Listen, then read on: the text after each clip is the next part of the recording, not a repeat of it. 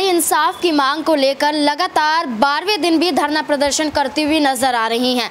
वहीं इसी दौरान देखा जाए तो ब्रिजभूषण शरण सिंह अपना बचाव करते हुए अखिलेश यादव को लेकर बयान देते हैं। अखिलेश यादव को ये कहते हुए नज़र आते हैं कि वो यहाँ पर सही फैसला करते हैं। अखिलेश यादव का समर्थन पाते हुए ब्रिजभूषण शरण सिंह देखे जा रहे हैं। ऐसा ब्रिजभूषण शरण सिंह का कहना है कि समाजवादी पार्टी के नेतृत्व पर चलने वाले कई युवा यहाँ भारतीय कुश्ती में शामिल हैं। ऐसे में उनके मार्गदर्शन पर चल रहे हैं और अखिलेश यादव बखूबी जानते हैं कि मैं किस तरीके से यहाँ पर अध्यक्ष पद पर काम करता हुआ नज़र आता हूँ। साफ़ तौर पर ब्रिजभूषण शरण सिंह ने अपना बचाव करते हुए अखिलेश यादव पर पल्ला झाड़ दिया। जिस दौरान यहाँ पर अखिलेश यादव ने तो चुप्पी नहीं तोड़ी। अखिलेश यादव ना तो ब्रिजभूषण शरण सिंह के खिलाफ दिखाई दिए और ना ही यहाँ पर महिला पहलवान खिलाड़ियों के समर्थन में उतरे। वहीं दूसरी तरफ़ देखा जाए तो उत्तर प्रदेश में निकाय चुनाव चल रहा है। चुनाव में किसकी जीत होगी, ये तो देखा जाएगा रिज़ल्ट के बाद, लेकिन इसी बीच यहाँ पर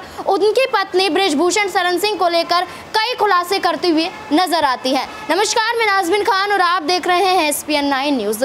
Dimple Yadav की बात की जाए तो वो अखिलेश यादव से अलग सुर अपनाती हुई नज़र आ रही है। उत्तर प्रदेश में निकाय चुनाव को देखते हुए अखिलेश यादव जो सतर्कता से साथ वहाँ पर वोट डालते हुए नज़र आ रहे हैं, जितनी यहाँ पर वो दिखाने की कोशिश कर रहे हैं कि इस बार समाजवादी पार्टी निकाय चुनाव में तो जीतेगी, साथ ही साथ लोकसभा चुनाव में भी जीत दर्ज कर पाएगी। तो वहीं दूसरी तरफ़ ब्रिजभूषण शरण सिंह के मामले को लेकर डिम्पल यादव अपनी चुप्पी तोड़ती हुई नज़र आती है। वो यहाँ कहती हैं कि महिलाओं को इंसाफ मिलना चाहिए।